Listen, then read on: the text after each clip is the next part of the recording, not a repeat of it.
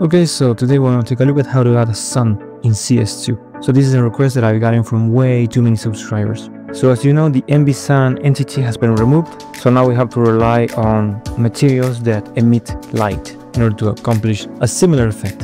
And to a certain extent, it's much better because you see, you can make suns bigger, smaller, you know, you can add several in the sky, so that's actually very cool.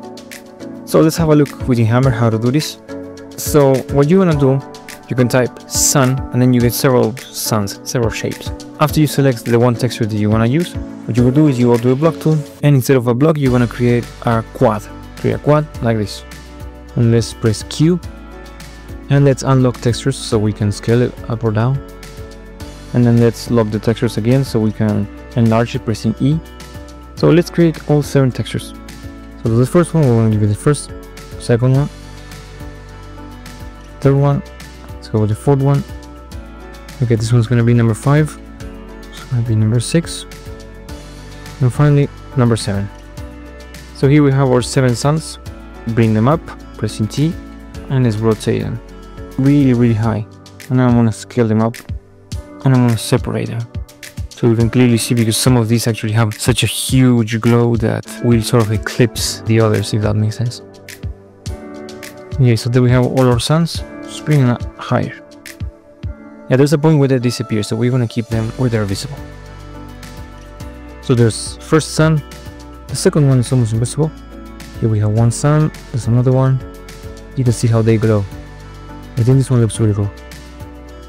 All, all those three. That one maybe for a cloudy sky, I don't know. And this one it's almost non-existent. So yeah, that's the way you can add suns on the Source 2 now. So these are the three suns, sun number 3, 4 and 5. These ones are the best. So the only difference between those three is the glow. Which is actually pretty cool if you think about it because you can now recreate an environment where you're in another galaxy or another planet and there's suns instead of a single sun. Alright, look at those suns. Very nice. And credit for this trick actually goes to this Reddit user who posted, you know, that he found a solution six months ago. You can use the mesh circle and sun this glow. Now, you don't need to use a mesh circle. You can do it the way I did it, which is just with a flat, essentially, because the rest is just going to be transparent. So yeah, credit goes to this guy. Thank you so very much for visiting. I hope that this tutorial served you and that it is the solution that you're actually looking for.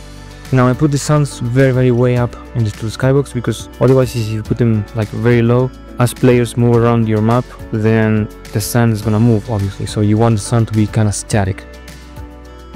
Thank you so very much for visiting and have a nice day.